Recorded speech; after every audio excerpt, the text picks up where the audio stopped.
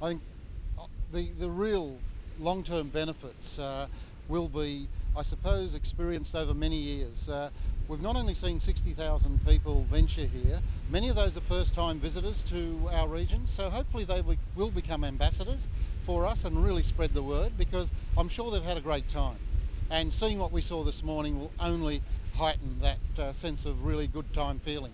And of course, the priceless media exposure that we've received immediately today, uh, globally, um, and of course, a lot of those shots will be revisited and re-promoted, and they were just so classic shots. So they're going to be used and used again. So uh, tremendous additional exposure for us as time goes by. So uh, all round, it's an absolute winner.